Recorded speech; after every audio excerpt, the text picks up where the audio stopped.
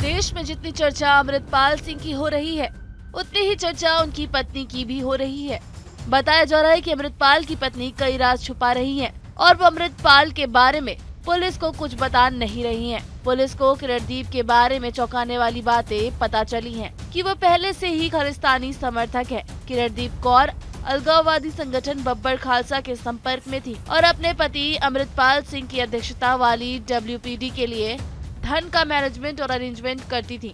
2020 में Kirandeep Kaur UK police के radar पर थी। बता दे 10 फरवरी को अमृतपाल सिंह ने ब्रिटेन की एनआरआई किरणदीप कौर से शादी की थी। दोनों की शादी अमृतसर के पास अपने पैतृक गाँव जल्लूपुर खेड़ा में हुई थी। शादी में किसी को तस्वीर क्लिक करने की इजाज़त नहीं थी। अगर कोई तस्वीर खींचना चाहता था तो वो उसकी पत्नी की तस्वीर पीछे से ले सकता था। सामने से चेहरा क्लिक करने की मनाही थी। अमृतपाल ने कुछ समय पहले ही किरणदीप से शादी की थी। दोनों सोशल मीडिया के ज़रिए संपर्क में आए थे। किरणदीप और उसका परिवार ब्रिटेन में रहने लगे थे। हालाँकि वे मूलत जालंधर ज़िले के गाँव के कुल्लर की रहने वाली हैं। पुलिस अमृतपाल को जल्दी पकड़ लेने का दावा ज़रूर कर रही हो। लेकिन सच्चाई ये है कि अमृतपाल पुलिस की पहुँच से अभी कोसों दूर है। अमृतपाल सिंह के केस में एक नई बात ये भी है कि 18 फरवरी को अमृतपाल को फरार होने के बाद से उनके पिता तरसेम सिंह और माँ बलविंदर सिंह मीडिया कर्मियों से बात कर रहे हैं। लेकिन केरदीप कौर इस दौरान मीडिया के सामने एक बार भी नहीं आई है।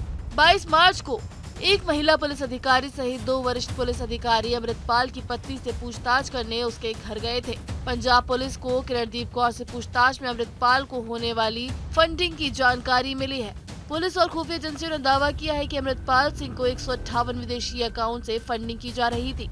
इनमें से 28 खातों से पाँच करोड़ रुपए से ज़्यादा की रकम भेजी गई थी। इन खातों का संबंध पंजाब के माझा और मालवा से है। शुरुआती जाँच में पता चला है कि किरणदीप ही अमृतपाल के लिए फंडिंग करने का काम कर रही थी।